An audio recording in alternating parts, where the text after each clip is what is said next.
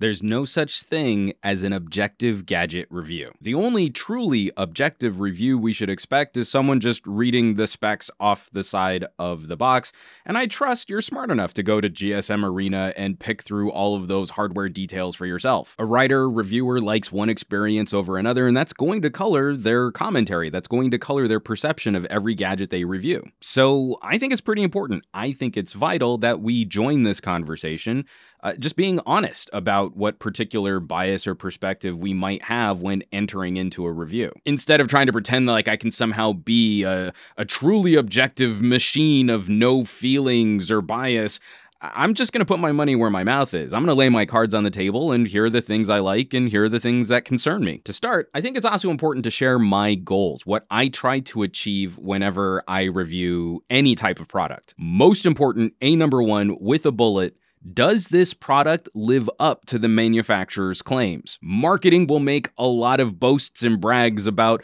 what a particular gadget can do, and it's through my usage I need to determine whether or not that product lives up to those expectations. Secondly, I work really hard to try and figure out who the product is for. I truly have never found that magical unicorn gadget which is a great fit for everybody. Lifestyle technology is really expensive. We work hard for our money and we spend a lot of it on these gadgets, so I try to determine who would be the right fit for this product, make sure it's the right fit for them, rather than playing the game of, well, it's the popular product, so it's probably gonna be good enough for you. And then third, that's where I filter all of that information through my own personal likes and dislikes, my opinions on what makes for a good gadget, a good experience, a, a, good product, and then that's how I usually wrap up my conclusions. If you've been keeping up with my videos, and I've been producing content over the last seven years on several different channels, then I think you would have a pretty good understanding of what I like and what I don't, and why I bring up certain points in my reviews. Of course, that's a lot of content to chew through, and uh, if you're coming to my channel pretty fresh, you shouldn't have to do that. With a focus on phones,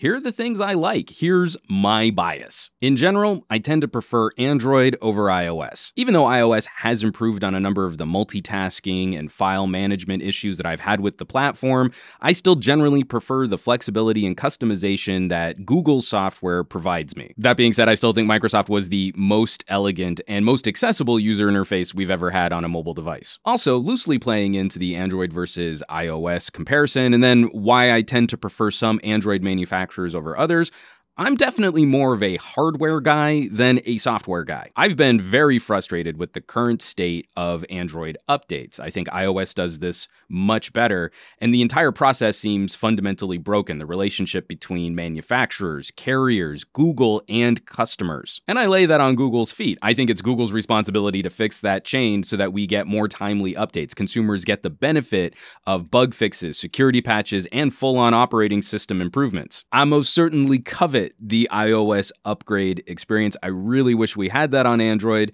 but it's the hardware which also weighs in heavily on keeping me in the Android ecosystem. How manufacturers try to differentiate themselves from their competition, all those different pieces and parts, all the experiences that you can craft, and all the different demographics of consumer that you can focus on. For that wide variety of hardware experiences, there are a couple trends which have been concerning me of late.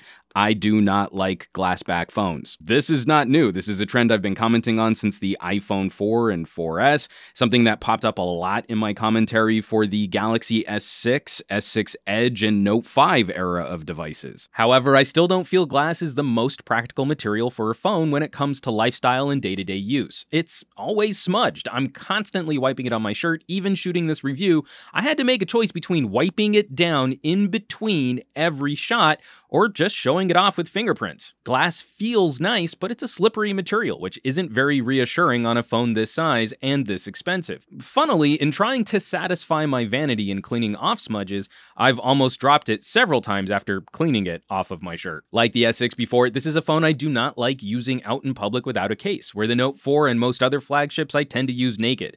The new Galaxies all but require a case or skin to improve grip and keep the phone looking cleaner.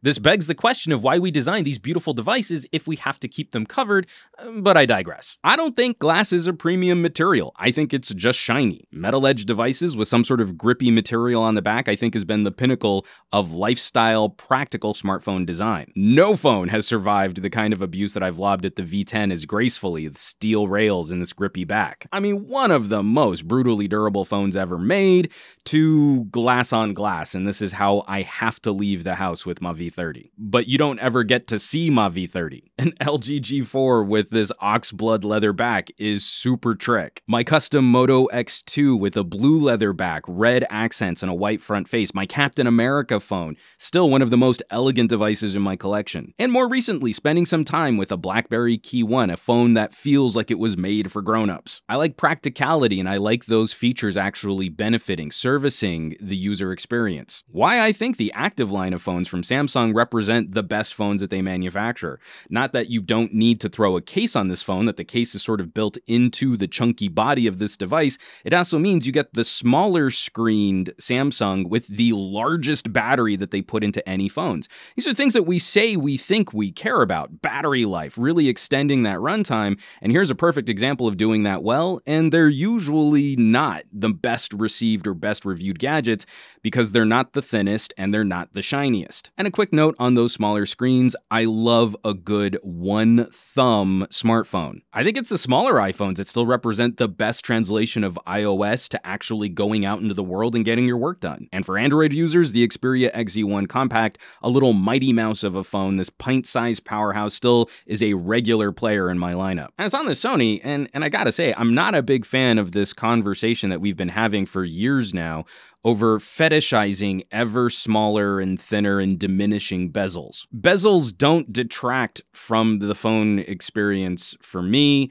And in fact, I think there are a lot of benefits that come from having a little bit of extra space on a device that you can build in features like better cameras, stereo speakers, or just have better drop protection. Again, not a new trend for me. This is something I've been commenting on for years now. I'm actually not for having ridiculously small bezels on devices. Now, hear me out because a lot of people seem to get really frustrated when a tablet or a phone has these ugly black bordering bezels that you know just takes up so much of the front face and makes it that makes the screen look so much smaller. This no bezel fetish culminating in a trend where we actually cut into parts of the display, supposedly the display being one of the most important aspects of a phone so that we can still house things like an earpiece speaker or a selfie camera. I use my screen a lot more than I use my selfie camera. So having a tiny strip of forehead bezel at the top of the phone is not a deal breaker. Lastly, wrapping up my personal bias, I get really excited about devices that offer a truly specific experience for a particular demographic. I like phones with focus. As previously mentioned, if you want that really killer one handed experience, it's gonna probably come from a smaller phone. Or maybe you're not as concerned about having the best multimedia or gaming experience, but you really want a killer communicator, and something like the BlackBerry Key 1 starts making a lot of sense for that conversation. The Note series with the S Pen offering up a unique way to handle and interact with your phone. Phones that offer up truly unique camera experiences or near professional grade manual mode so that you can really tailor, you can really create something with the gadget that lives in your pocket. And I come from a background in voiceover casting, voiceover directing, spoken word recording. I have a soft spot in my heart for those phones that offer up the best audio experience that you can treat your ears to. So, those are the things I like. Those are the things that concern me. And now that you know I am a living, breathing human being with feelings and thoughts and opinions, obviously this means you can no longer trust any video that I put out there because I'm obviously a fanboy and a hater. No, not all that. You guys know what the trick is. You know how this game is played. And obviously, I think the best way for